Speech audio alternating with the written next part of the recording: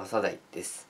今日は個人的に好きなポテチの期間限定のやつ。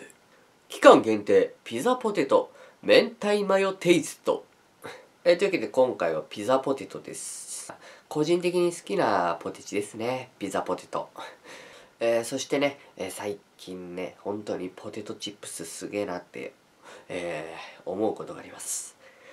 本当にね2週間に1回ぐらいのペースでなんか新商品出てない。お菓子すごいね。あのね最近本当にねあのいいネタがなくてね。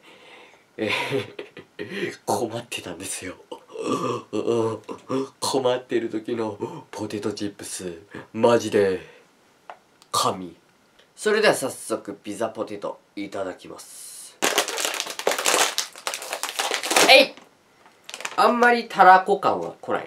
はい。中この通り、えー、ギザギザの感じのタイプですね。いただきます。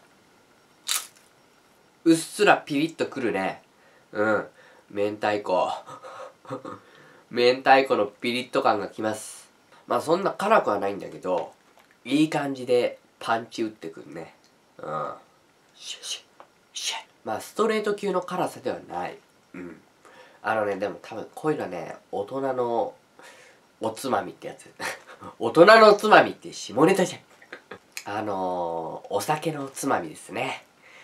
皆さんも期間限定のピザポテト明太マヨテイスト食べてみてはどうでしょう？それじゃあまた会いましょう。バイバイ。